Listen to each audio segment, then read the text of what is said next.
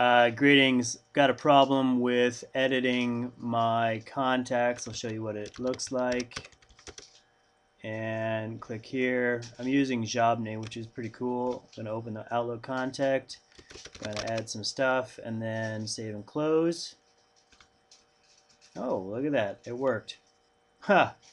I was getting an error message saying that I could not edit my personal contacts. So uh, what I'm going to do is show you how to find the PST folder, which is what I was looking for earlier.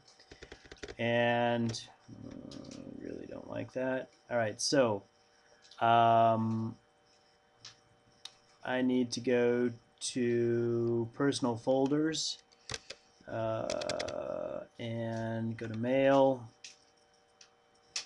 right click and let me see if advanced now who do I go to? Uh, do I go to properties?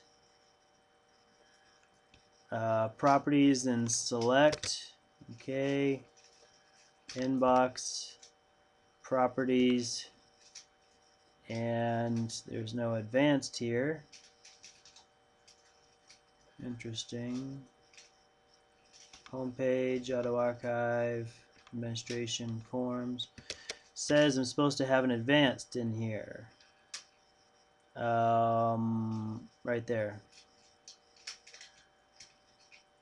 So where is it supposed to be? Now click on the advanced button.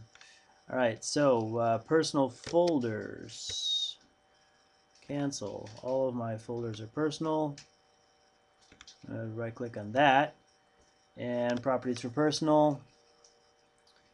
Alright, there it is. Properties for personal, click advanced.